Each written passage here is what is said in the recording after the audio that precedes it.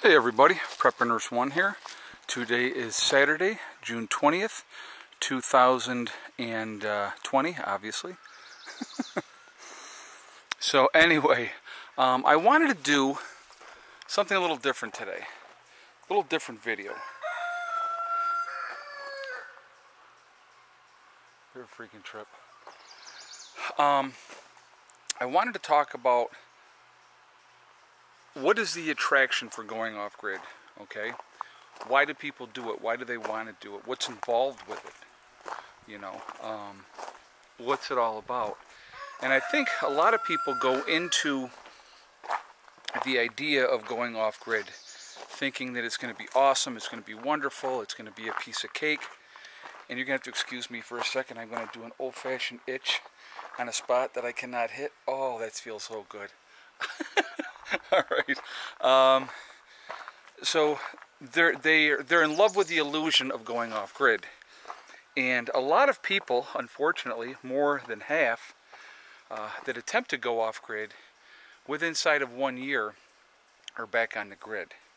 And why does that happen too? So we're going to talk about a couple of these things. So, uh, so why do people want to go off grid? Obviously, part of it is the freedom. It is uh, you know, independence, having your own solar system, having, you know, um, growing your own vegetables, all those types of things. So that's that's a really big attraction for a lot of people when it comes to, uh, you know, wanting to go off grid and wanting to be as. It's it's the last way, realistically, in the United States, in my opinion, that you can be as independent as you possibly can be. Now, obviously, depending on where you are, what part of the country you're in, uh, all kinds of rules and regulations as far as that goes. Um, you know, so you have to pay attention to those things as well. Uh, you really, really do. And uh, because otherwise, uh, you will get people that will try to cause you problems. And uh, you know, if you think that you can just go and do whatever you want. Now, let's don't get me wrong.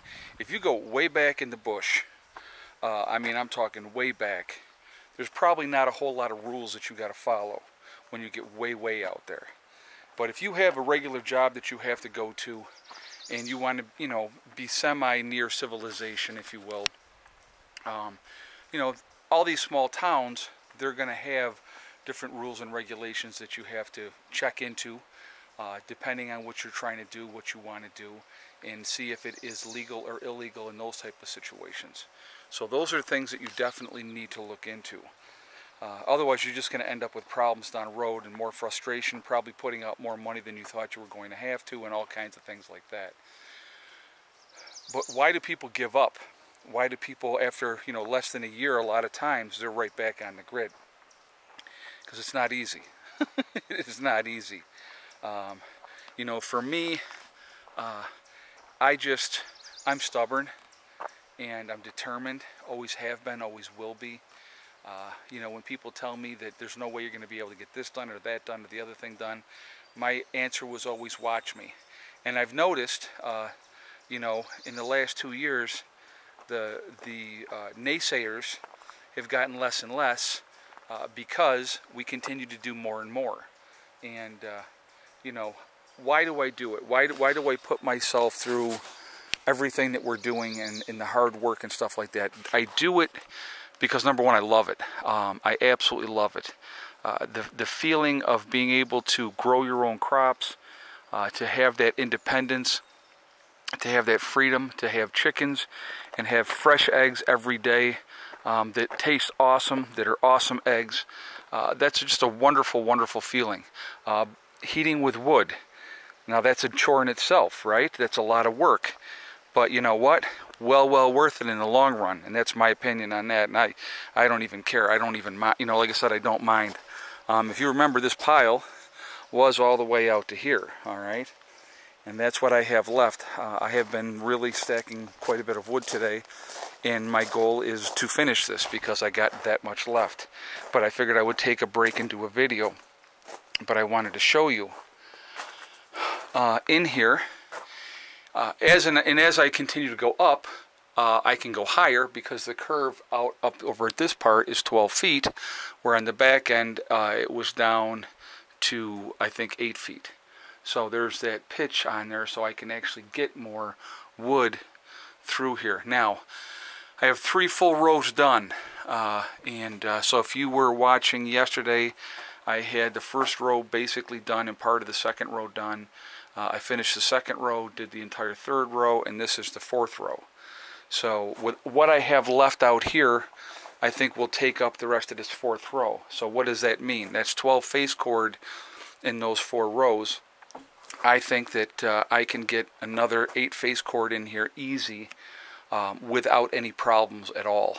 So I'm probably going to go ahead after I get this all stacked and order 8 more face cord of wood. Uh, I want this woodshed completely filled. So when it's completely filled, now we got about uh, 10 face cord over here. We'll have 12 face cord in these four rows, so there's 22 face cord. I get another 8 face cord that gives me 30 face cord, okay? I will, there's no way I'll burn through that in the winter. But the way I look at it, um, again, it's insurance. So with having the wood here and ready to go, uh, whatever I don't burn this year is something that I will, you know, I'll have a whole bunch extra to burn for next year and it just works out great that way. Um, I just, it really, really does. So, uh, I, and like I said, I, I, don't mind doing it. So, also, so far, I have gotten uh, five buckets of kindling out of this. So, what is the significance of that? What you know, why why pick up the scraps and stuff like that? When you're looking to start that fire, um, and you have this type of kindling to work with, this will be completely. I mean, it's already dried out stuff already but when you go to start that fire in the wintertime, these are awesome to have. Um, absolutely awesome to have. Starts your fire really nice and easy. If you have hot coals, all you got to do is feed a little bit of that on there, and boom, you got it going again. You know, and so that's hugely helpful as well. So it's it's really important um, to pick up all your scraps because again, you can use it for kindling. Hello, buddy. Yes, I know. I'm making a video, so you have to make an appearance. I know. I know you do. So anyway, um, I will be getting this last of this done today and getting it done. And then I will give uh, my wood guy a call and I will have more wood brought in again. And again, is it overkill? Sure it is, but guess what? I'm not running out of wood anytime soon doing that. And uh, I'm not cutting down my own trees doing that. And it just, it just, it saves a ton. It really, really does. And so, you know, if we have, you know, um, hard times ahead, then we're we're more prepared for that. And that's what it's really uh, all about too. I mean, we just never know what's going to happen in the world. And if everything goes to complete dog crap, if I'm sitting on 30 face cord of wood in here, uh, puts me in a catbird seat as far as having enough for a couple of years as far as burning goes. Now obviously I would continue to work at it and fill it back up every year as much as I possibly could, but it gives you that advantage of you know, being ahead. So, yes, I know, I know. I haven't seen you all day. I've been stacking wood all day, and now all of a sudden I'm doing a video, and you're gonna come out. You like the camera? Hmm? You want to be a star? Yeah. Now see Lucy, who is right there. I don't know if you can see him, right in there. Stop, buddy, stop, stop. Lucy's been hanging out with me all day, but he's smart enough to stay in the shade. All right, I think he wants to go in. So let me do my job. But anyway, um, you know, a big part of, of living off-grid and being off-grid is peace of mind. Uh, peace of mind, freedom. I think those are probably, you know, the, the biggest things that go with it. In uh, trying to, like I said, trying to be as independent as I possibly can and not being tied to the system as much as I possibly can. It's just, it's a great feeling. It really, really is and I'm going to tell you what, it's, it's for your mental health, there is nothing like it. I know I still have to cut the grass. I've been a little busy. I've been stacking wood for three days, so uh, I will get to the grass. I'll probably cut the grass either later tonight or tomorrow. I'm not sure yet. But anyway, um, you know, it's just, uh, it's a process. Uh, it is not an easy process. I will tell you what, it's a huge transition. If you think that it's going to be you know, all rainbows and unicorns with going off-grid, uh, you are going to be sadly mistaken. There's going to be roadblocks that are, are thrown your way. Things are going to happen. Life will continue. Uh, there will be sickness. There will be death. All those type of things will continue to happen. So uh, that's what happens in life. So you have to roll with those punches. Uh, you know, uh, things happen. You just never know what it's going to be. Uh, but again, it, it, puts you in a better position to handle whatever is coming down the pipe. And that's what that's what I love about it. Uh, you know, it's just uh, and like this year, I know we've gone crazy this year, absolutely crazy this year, getting things done, which has been great. Uh, it's been a very very busy year, but uh, again, it just that's how it goes. So I want to show you something, and I want to explain something to you guys because people were asking questions. So we're going to go in here to my sister's place real quick. Alright, so people were asking, why did he put the insulation in backwards? The insulation that he got, and I'm going to go back here and show you, has no backing on it. So there is no right side or wrong side with this insulation because if you see this insulation either side there is no backing. So here you got that side and on the back side there's nothing either okay? That's what he ended up with you know that's what he got and so he got it for I don't even know what price he got it for but uh, this does not have any backing I think it's like R30 so obviously he can't put R30 in the wall because it's going to be too much so he's breaking it down a little bit and uh, you know like I said again uh, not my circus, not my monkey. So uh, it's his bag of beans, and he's doing it the way he wants to do it. And I'm like, you know, I have my own thoughts on it, as I explained to you guys. But uh, again, that's uh, to each their own. We'll just put it like that, and we'll leave it at that. But uh, so I know people were questioning that and wondering why. So that was why. And it's funny too. Now I want to I want to bring this up yesterday. So yesterday, in my video, I explained why I was not using my wheelbarrow, right? Very clearly in the video, I explained why I'm not using a wheelbarrow, why I'm doing it all by hand, all right? Because there's a wheelbarrow sitting right there, all right? So I have a wheelbarrow if I want to do it that way. The reason I did it the other way, and I told everybody, was because I wanted the exercise. With walking back and forth, taking a couple pieces at a time, it really works on your strength, and uh, it's a good workout, and I need the workout, so that's why I'm doing it that way. Plus, I have the time. Um, I have not been in any kind of rush. I'm not on a time clock with stacking this wood, and that makes a big difference too. I mean, if I was doing a job for somebody and trying to get it done as quickly as possible, totally different, okay? But I'm not. Um, this is my own gig. I do it at my own pace. And so, you know, I got a lot of wood already stacked today. I probably stacked more wood today already than I did in the last two days. But that's okay. Uh, you know, it's, uh, you know, I just like I said, I'm, and of course, as I keep getting more and more into it, I'm like going, I'm almost done. I'm almost done. So I've just, that's why I've just kept going today. Uh, I started this morning. It is after 2 in the afternoon now. Uh, so I, I figure maybe another hour of me doing this and I'll be done. So I'll probably wait before I put this video up uh, to, to, continue this because I basically was taking a break to make this video. But I just kind of wanted to share everything with you guys of why go off-grid. Why, why do you, and I would love to hear your guys' feedback. Um, people that are off-grid, that are contemplating going off-grid. Maybe some of you guys that have tried off-grid and it didn't work out for you. You know, share that. I, I'd love to hear what your thoughts are.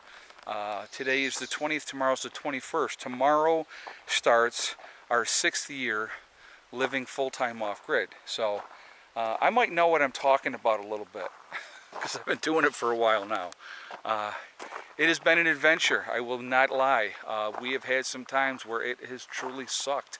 Uh, big time sucked, you know, but overall, uh, I wouldn't change the experience for anything. it's been a wonderful experience. Uh, again, it's been a lot of hard work, but it's been well, well worth it as well. And, uh, you know, I still have a ton of stuff that I got to get done this year, outdoor stuff. And again, so while the weather is there, while the weather is decent, um, I'm going to get out and I'm going to get my work done. You know, it's uh, just, uh, like I said, I, I, I'm feeling that clock ticking. I feel that clock ticking. And I don't know how much time we have. So to me, the more I can get done, the more I can get squared away. Uh, that's why I'm doing what I'm doing. Uh, I'm going to definitely be ordering another 8 face cord for the simple fact that should fill me up. That should fill this wood shed up completely. And um, again, it just puts me ahead of the game. And then it's not, you know, then with whatever we burn this winter coming up, you know, it, we're going to be in a much better shape.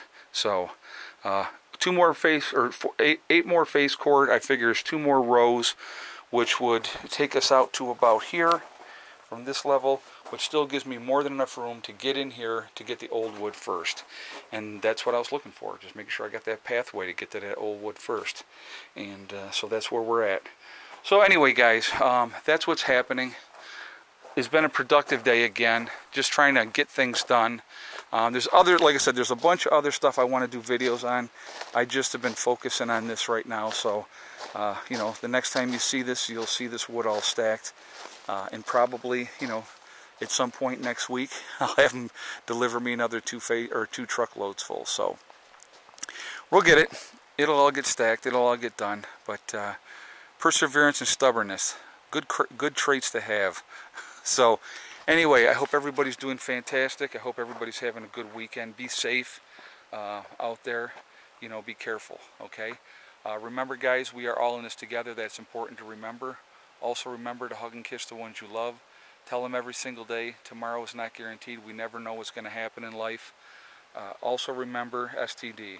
It's one step at a time, one thing at a time, and one day at a time. Whatever you're trying to do, whatever you're trying to accomplish, you can do it.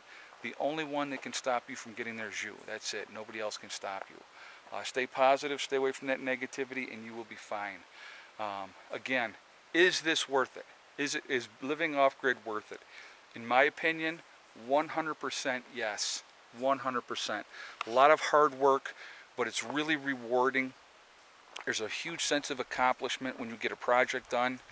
Uh, you know, uh, pride, if you will. You, not that you're prideful, but you feel proud that you got, uh, you know, that next thing chopped off the list. And, you know, as you continue to get things going, and here's the best part too, what a lot of people really don't get with it as you get these projects done, it makes your life better. It makes your life easier. And that's what it's all about, okay? So that's what we're going for. And here comes Mr. Buddy once again. All right, buddy, say goodbye. Say goodbye. Yes? Say goodbye to everybody? All right. All right, everybody. I'll talk to you later. Prepper Nurse 1 out for now. Yeah.